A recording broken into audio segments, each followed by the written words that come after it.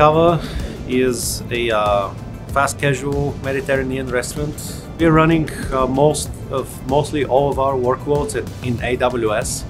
And so uh, AWS, we use it as uh, infrastructure as a service, as a platform as a service, and software as a service. All type of cloud solutions come there. So with our solutions, we definitely need a good backup solution. I was looking for cost-effective, secure, scalable, and um, air-gapped backup solution. Turns out that uh, met my requirements. So we deployed Clumio across all our AWS accounts. Now we're backing up hundreds of terabytes of data.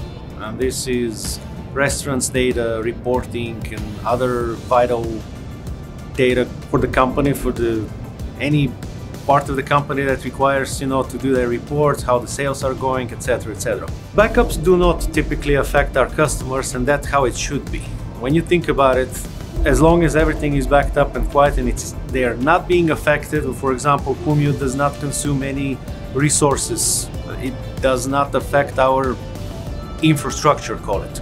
Yet it is scalable for us and it would grow as much as we need it to as much as our data grows, Clumio will serve that purpose.